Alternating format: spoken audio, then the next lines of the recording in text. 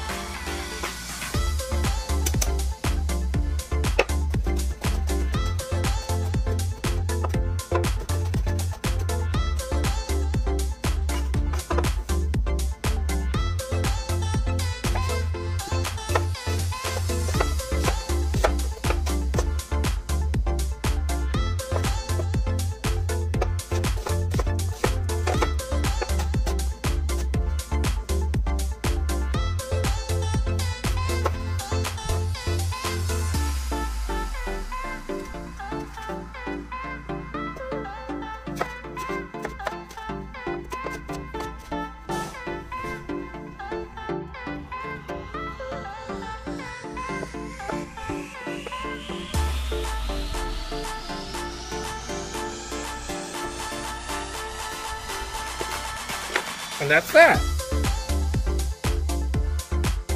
Now that that's done, I'm gonna take another shot. Mmm. Now we're gonna start cooking the chicken. First, let's season it with some salt and pepper.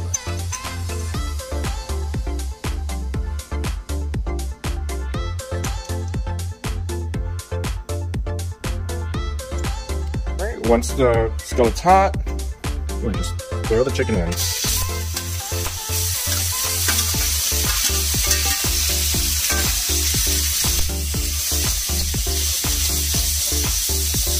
Cook it. You want to cook this on medium to medium high. And add some ginger. The trick to this dish is that you want to cook the meat first, and then you'll cook the vegetables afterwards once it's done. While the chicken finishes cooking, I'm going to take another shot of that sake. Mmm. Now that the chicken is cooked, we're going to start sauteing the seasoning or the spices. First, we're going to get the coriander and throw it in the hot oil. A little extra. Get that up to temperature. We then want to add the garlic and chilies. Cook it for about a minute so it's nice and aromatic.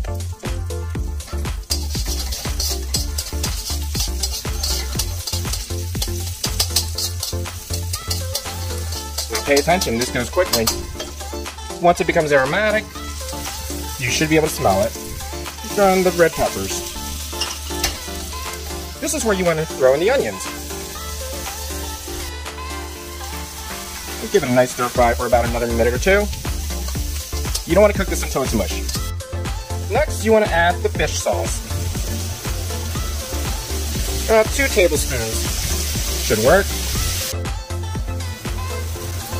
You then want to add the hoisin sauce, about another two tablespoons. Remember, this goes quick.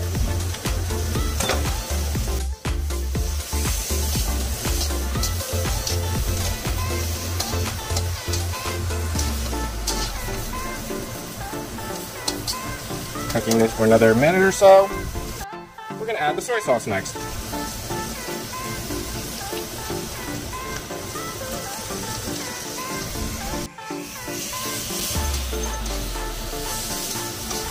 Doesn't that look beautiful? We're almost there. Next, we're gonna add the sugar.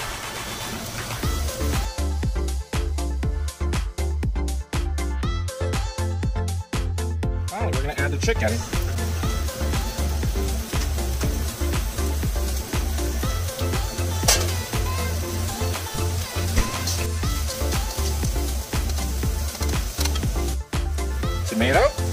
Lighten that up.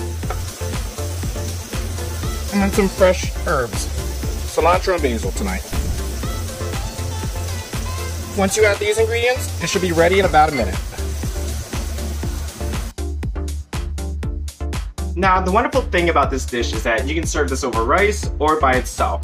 Guys, I hope you enjoyed this recipe. Be sure to like and subscribe to my page. And as usual, don't forget to take a shot. Mmm,